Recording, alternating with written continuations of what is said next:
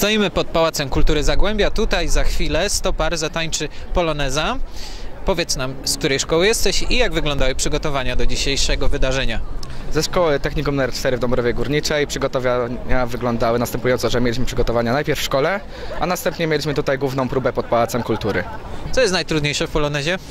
W Polonezie różne przejścia, ogólnie choreografia, ale wszystko idzie dobrze potem. Przed chwilą zapytaliśmy waszego kolegę o przygotowania, a jak wy sądzicie, dacie sobie radę z polonezem? No, mamy małego stresa, ale myślę, że wszystko pójdzie po naszej myśli i wszystko wypali. A co jest najtrudniejsze w układzie?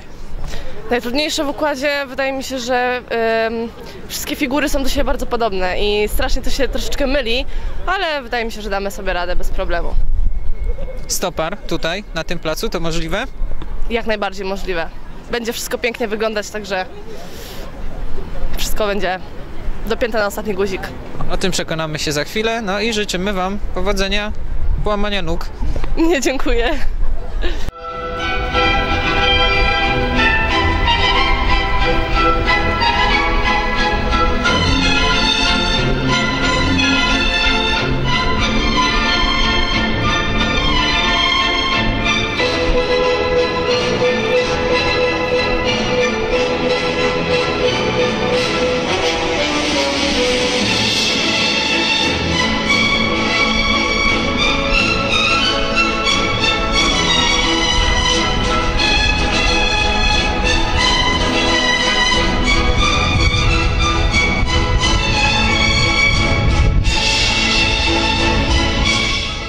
Jak wrażenia, udało się? No ja mam nadzieję, że się udało. To Państwo powinni ocenić i widownia. A młodzież była bardzo skoncentrowana i dreszczyk emocji przejawiała, więc już było dobrze i to jednak było wielkie wyzwanie. Ten projekt, który, którego em, pomysłodawczynią jest pani dyrektor Małgorzata Majewska z Pałacu Kultury Zagłębia, chyba się sprawdził. A jak wyglądały przygotowania? No to dosyć spore wydarzenie, stopar.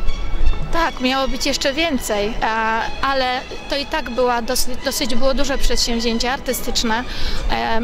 Spróbować zintegrować tą młodzież i też poskładać tak zwane klocki Lego, z których w zasadzie e, utworzyłam później całą kompozycję taneczną. Jeździłam po liceach, od 8 grudnia w zasadzie zaczęliśmy tą pracę. E, Nie zawsze była możliwość, bo młodzież e, egzaminy różnego rodzaju miała i studniówki i zakończenia e, semestralne, więc e, były troszeczkę takie problemy, ale są zadowoleni, zresztą Państwo widzieli, więc mam nadzieję, że, że, że, że to, to, to narodzi nowe projekty, o, tak bym to ujęła. Pokaz Poloneza w wykonaniu uczniów szkół średnich, który odbył się przed Pałacem Kultury Zagłębia, był elementem obchodów stulecia miasta.